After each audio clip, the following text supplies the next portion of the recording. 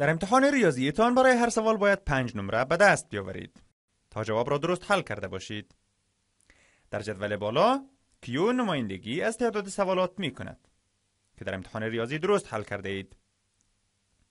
و پس نمایندگی از مجموعه نمرات می کند که در امتحان به دست آورده اید.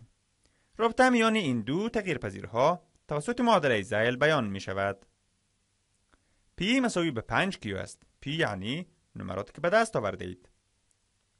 و Q تعداد سوالاتی است که درست جواب داده اید و آن را می توانید که در جدول ببینید. اگر Q صفر باشد یعنی اگر سوال را جواب نداده باشید صفر به دست می آورید. اگر سوال را صحیح جواب نداده باشید پس 5 ضرب صفر دوباره صفر خواهد شد.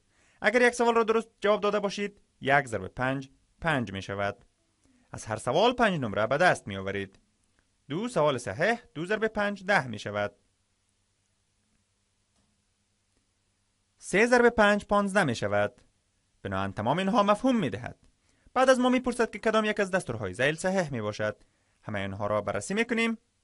بیایید که در مورد این فکر نماییم. می‌گوید تغییر پذیر وابسته این نمره است که شما به دست آورده اید. زمانی که فکر می‌کنید در اینجا چه جریان دارد همان تعداد نمرات است که به دست آورده اید.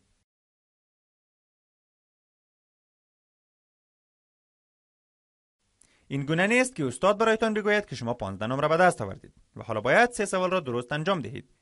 این طریقه دیگر آن است. تعداد سوالات را که شما درست حل کرده اید. تغییر پذیر مستقل می باشد.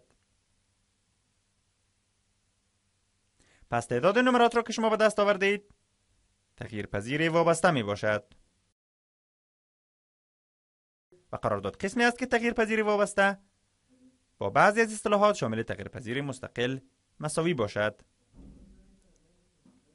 و آن را در آنجا می بینید P با چیزی که در Q اتفاق میافتد وابسته است. ضرب تعداد سوالات. آن را با پنج ضرب می‌کنید و P را به دست میآورید. پس تغییر پذیر وابسته تعداد نمراتی است که به دست میآورید. تغییر پذیر وابسته تعداد سوالاتی است که آن را درست جواب داده اید نه خیر قبلا در مورد آن صحبت کردیم. آن تغییر پذیر مستقل می باشد تغییر پذیر مستقل تعداد نمراتی است که به دست آورده اید آن تغییر پذیری وابسته می باشد تغییر پذیر مستقل تعداد سوالاتی است که آن را درست جواب داده اید خب آن درست است. و می توانیم که جواب خود را بررسی نماییم.